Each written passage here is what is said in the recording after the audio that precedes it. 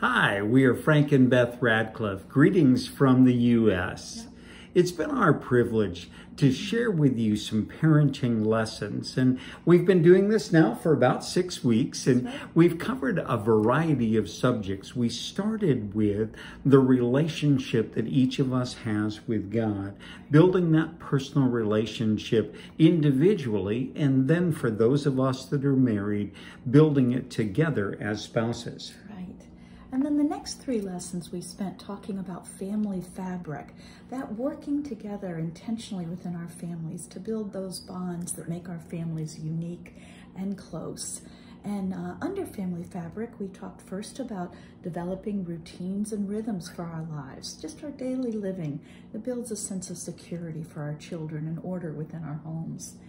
And then we talked about making special memories, the fun things in our family that we carry on, the traditions and the, the happy things.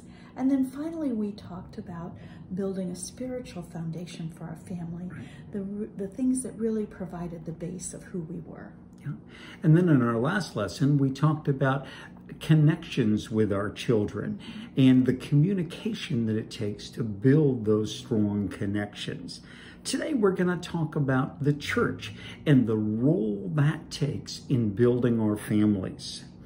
The lessons that we've taught come from Sam and Geri Laing's books, book, The Essential Eight Principles of a Strong Family. Mm-hmm. Now, we've taken just some bits and pieces of their lessons, and today want to bring it to a conclusion, but we really encourage you to read and use that workbook, both reading the full lessons, but also doing the daily exercises and participating with a family group or a group of, of peers in answering the questions and getting that support that you need for your family.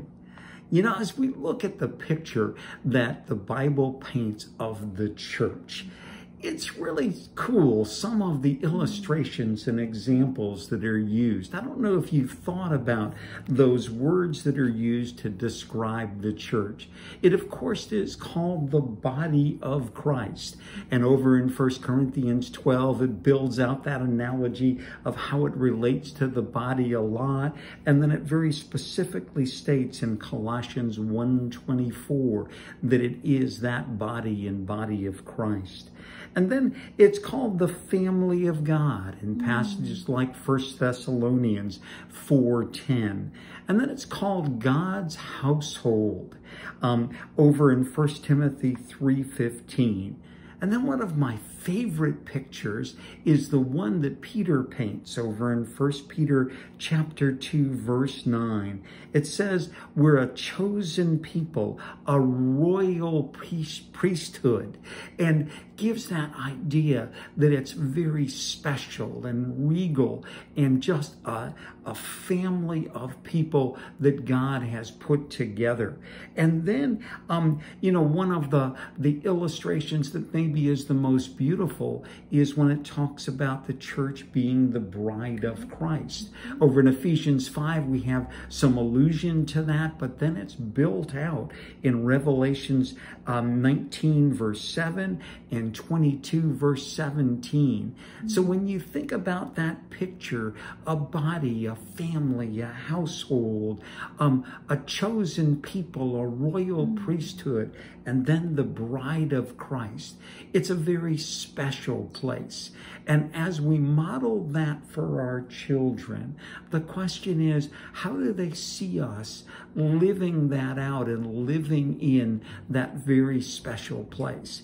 You notice it doesn't anywhere talk about a building. It doesn't talk about an organization or a uh, hierarchy or structure. What it talks about is relationship. What it talks about is God working and moving. And for our family, that's something we so much wanted to model. And it really has been interesting in this time of the pandemic and of worshiping virtually. There's a lot of things about the church that we miss a lot. Mm. We miss the fellowship. We miss the one one-to-one conversations. But I hope within our families that you've been able to model for them that the church is not about a building, not about a structure, not about the leadership, but it's about your family participating together with all of the believers, wherever you are, wherever they are, and building that sense of the church being a very special place that's all about the people. You know, sometimes we may ask ourselves, why did God put us in a church? Why can't we just do this on our on, on our own? But he really did have an intent. He had a purpose. And there are a lot of verses that talk about that. But one of my favorites is Ephesians chapter 4. And if you look down um, in Ephesians 4, verses 11 through 16, you'll see a couple things that stand out. This is the section that starts about him talking about the leadership that he's given us. And it says, So Christ himself gave the apostles, the prophets, the evangelists, the pastors, and teachers. And notice what he gave them for. It says he gave them to equip, equip his people for works of service so that the body of Christ may be built up. And so there you see that phrase for the church, the body of Christ. And mm-hmm. his reason for putting us all together is that we can be equipped, that we can be prepared to do good works. And those good works can be within our family or those good works can be in the community, wherever God has placed us and called us. And then as you go a little further down, it talks about us becoming mature and being able to handle situations in being in the church. And it says down in verse 15 that we'll grow to become in every respect the mature body of Him who is the head, that is Christ. And so that's our goal. That's what we're working together with within the church to do. You know, the Laing's book has a, a beautiful line that reads like this. It says, the church was planned for God's glory and for our blessing and benefit. Right. And I love that line. Yeah. Um, we, we read in Romans uh, 12, verses 3 through 8, that it is in the church that we find our own gifts and right. our talents and our purpose. So again, why the church is so beautiful and so important. Um, I think of our own, one of our own daughters when she was in high school, went to um, Durban, South Africa, uh, to the on a Hope Youth Corps. Right. And when she left the U.S., she was a typical American teen who loved music and fashion and everything lots cool. of things. Yeah, lots of things. But she came back from that trip a changed person. She, she came back committed to serving others. And she went on to go to um, uh, the university and, and studied and became a licensed clinical social worker. And I feel like God in the church really showed her what her purpose was. Right, right. You know, it's important uh, within our families mm -hmm. that we make the church a real priority right. in, in our lives. You know, we need the church as Christians. And what's interesting is the church needs each individual Christian as well. There's some passages that you're probably very familiar with that talk about that and build that build that out. Over in Hebrews chapter 10 verses 24 and 25 are verses that you probably know and have heard before and sometimes they can feel a little bit negative, but I want you to hear the whole verse and hear how positive this is when we make the church a priority. It says, let us consider how we may spur one another on toward love and good deeds, not giving up meeting together as some are in the habit of doing, but encouraging one another, and all the more as you see the day approaching. You know, it talks here about a need for us to meet together. Now, we found out how to do that virtually and all of that, but again, I know many of us are looking forward to being able to do that physically, but we have that need. But notice also about that priority here is that when we do that, encourage one another daily, it's so that we'll grow grow. It's so that we'll stay close to God. And over in 1 Corinthians 12, that need for each other is talked about again. That whole chapter is just a wonderful illustration mm. about the body and all the parts and the, you know, every person's not an ear and not a nose and all those and and and and, and all those things. But you know, its emphasis is we need each other. As Frank said, um, it's really important to make the church a family priority in our home. And habits are good to to um, to develop and, right. and it's good to make that a habit but i think it's also important to keep a heart of love and, and for our children to see that we're not just going to church because we have to because it's a habit not legalistically but right. because it's something that we love and are grateful for so um, you know, and I think why is it important for us to keep that that commitment to the church as a priority? I think of so many things that being a part of the church does for right. our families and for our children. You know, it's where we all learn to study the Bible. Right. It's where we learn to pray. It's where we learn to build relationships. It's where our children learn to love not only people like them, but people that are different Absolutely. from them. It's where we learn to forgive one another, right. uh, and it's where we learn to solve life's problems. You know, John 10, 10 talks about Jesus giving us the, the abundant life. Right. And I really believe that it's in the church that we both learn and live the abundant life, right. and we help our children to do the same. That's right. We've talked about some beautiful descriptions of what the church is, and we've talked about uh, the priority that it should have within our family's life and the purpose of it. But you know, sometimes the church isn't always a perfect place. And there are things that happen that we need to address and help our children address. And when we do that, we're actually really helping prepare them to become disciples and for their life within within the church. So we wanted to address a few of the situations that can happen that we can help our children with. The first is when there are conflicts. You know, when kids are little, there's going to be conflicts about things, and we basically tell them to go tell the other kid that they're sorry and to hug them, and and you know, and and and they can be fairly simple. But when you get to the preteen and teenage years, those conflicts can be uh, can be bigger ones, and they can involve um, purposely hurting each other and mm. some things that can be very negative. And we want to help our children resolve those conflicts. And notice how I said that. We want to help them, that I would always encourage them to first try to work things out with the other child. And remember that your child may not be telling you the whole story. Mm-hmm. I think of Proverbs chapter 18, verse 17. It talks about when that first person comes, he sounds right. But then when you hear the whole story, you may draw a different conclusion. And so you want to help your child with that. Sometimes that will involve involve getting together with the parents of the other child. But again, when you do, don't make a, don't make assumptions, and you don't want conflicts that your kids have to become conflicts that you have right. with other disciples. So it's important to work those things out and to teach them how to work those things out. Right. That's so true. Um, I want to just talk second then about worldliness in the right. church, and especially as it affects our preteen and teen ministries. Right. You know, the first thing is don't be surprised. Right. The children at that age are not disciples for the most part, and so uh, there there will be worldliness. They, they, there may be some drawn to the world. So what are some things that you as a parent can do? Right. You know, we've talked on many occasions about encouraging your children to have right. friendships, uh, both in the kingdom, mostly, hopefully, and out. Um, but what's also important for us as parents to know our children's friends you know, whether our children's friends are inside or outside the church, don't assume that they're all good influences. Right. Um, be sure you understand and know who those those friends are. And then second, know know how your child feels about these friendships.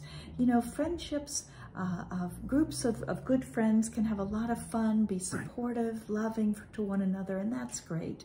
But cliques, groups of friends that become exclusive, can be really hurtful. And that's a worldly kind of friendship right. that, that we don't want our children to be a part of. You know, I think it's so important for us as parents not to be naive. Um, 1 Corinthians 15 33 says, Do not be deceived.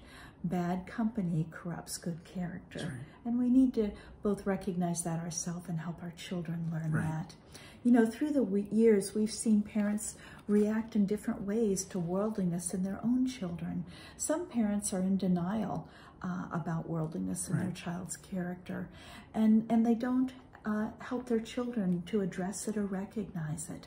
And this can do long term damage to a child's spiritual well being and growth.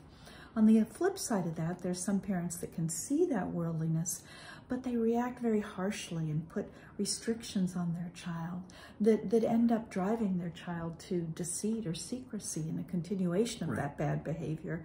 So I think it's important for us as parents, as we teach our children about godly living, to find a balance where we teach and train and talk, but to do it with wisdom and in love. That's right. That's right. We also wanted to talk about what may happen when your ministry leaders make mistakes. Um, we love Rodwell and Asilia to death.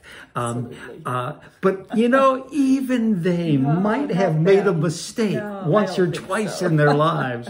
and certainly with the volunteers that help within a teen ministry. We love the teen workers that worked with our girls during the time they were coming up through school. But you know, there's sometimes were things that those 20, 25 year old um, did that weren't the decisions that we would have made. And so there may be mistakes that are made. And it's real important that you have an open communication with your child. And when they suddenly go silent about things that are mm. happening, or when they're afraid to tell you about something, be sure that you have that connection and communication about it. We've known situations where where, where children, particularly teens, have been treated harshly or been treated in a judgmental way. And that's really affected their view for years in some cases mm-hmm. about the church. And so you want to be involved. And that again is the principles of conflict resolution, of going directly to those people. And again, mm-hmm. not assuming that you've heard the whole story from your child, but going and being sure that those things are talked through. That when you work in partnership with team leaders and others within the ministry, it's a wonderful thing. It's a beautiful thing that um, that team workers and, and peers they're able to say things to your kids that often you can't say, or at least haven't received in the same way. But you want there to be that partnership that's there. Yeah, absolutely. You know, the final thing we wanted to talk about was what happens if our child doesn't want to come to church anymore? Right. That's a question that we've gotten a lot. And, you know, I think it's important to recognize that every child has their own journey that they have to walk with God. Some children um, embrace a faith very early and are baptized at a relatively young age. Um, others become apathetic as they get older and even hostile to the church. And then there are circumstances where children are baptized and then leave their faith in God. And we actually had one of our daughters do that, which Right. was probably one of the most heartbreaking, difficult things that we ever went through. She is back and faithful now, so we are very grateful for that. But you know, when children are very young, um, you know, when they're young, maybe up to early teens, they are still under your household and they are still under your in your home and under your authority. And I think as parents, we are it is it is okay right. to continue to insist that they come to church with you. Um, hopefully, we do that with love and compassion and teaching. But at that age, I would say yes, they they need to come. But when our kids get older, maybe the, finishing or completing, um, nearing completion of secondary school, starting to take on adult responsibilities, we need to we need to um, respect the opinions they have and the decisions that they make about God. What's really important when that is the case, especially if they make a decision that we would not have made, is to keep the lines of communication open. Don't don't isolate them. Keep talking. Keep keep that connection there, um, and be sure not to make your love conditional on their spiritual Right. status. You don't withdraw love. God has been unconditional in his love to us, and we want to be the same way to our children, no matter where they are spiritually. And then finally, hold on to your own faith and your and your prayer life in in in uh, praying for your child. Don't ever give up hope because everyone has their own journey, and um, your child's journey, wherever they are, is not over yet. That's right. As we conclude, we want to stress how important it is to teach our children to value the church. You know, we want them to we want them to love it. We want them to be a part of it. But we need to model an honest love for the church. And what I mean by that is there's got to be transparency um, that's an age appropriate one when there are things going on. Our kids are gonna are gonna see that when we're struggling or when situations happen that aren't the best. They're gonna see it. Be honest about it, but it's real important that we don't run down the church or particular run down leaders or people in the church in saying negative things about others in front of our church, in front of our children, really can cause harm to them. And again, saying things negatively about other people in front of others isn't good either. Again, that's the, the conflict resolution of going directly to them. But be sure you model for them um, holding the church in high regard, mm-hmm. holding it in a place of love that gives our children a vision of what it can be. You know, the funny thing for us is our children are now in roles that they're leading groups and having influence that our children really are. Um, for us, it's not only the future of the church, they're the present of the church. Yeah. And so, and so as, as you get past that on to your children, you want them to love the church. So as we think now about and close this session out, we want to again give you a few questions to talk about within your group. The first one is we'd love for you to each list five reasons you love and cherish your local church. Take a minute, maybe talk about that with your spouse or a close friend and put down five things that you love about the church. And then secondly, we want you to think about how do your kids feel about the church and how can you help them feel more closely connected? And then thirdly, how has God or other people helped you work through difficulties or challenges you faced in the church? Mm. We love all of you. We pray for you. It's been wonderful for us yeah. to walk along the journey of parenting with so many of you. Mm-hmm. All the best to you. Love you. Bye bye.